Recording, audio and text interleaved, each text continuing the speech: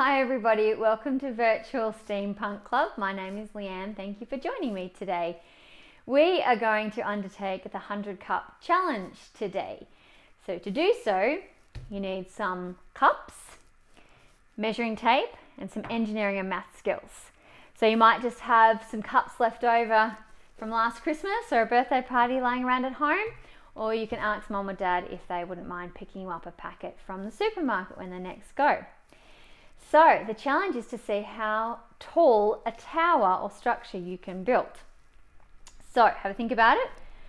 Think about how structurally sound it is and how tall you're going to aim to get it. See if you can use all 100 cups. See if you can make one as tall as yourself or as tall as the door frame at your house.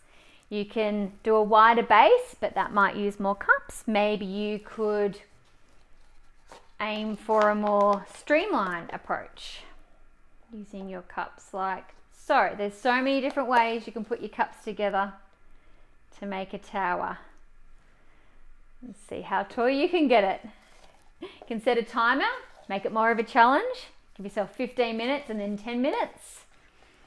And then compare the different structures and the different heights.